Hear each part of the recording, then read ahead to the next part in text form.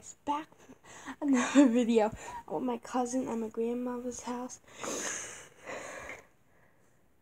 Hi, Say your name. Carla. Yeah, so that's my cousin Carter.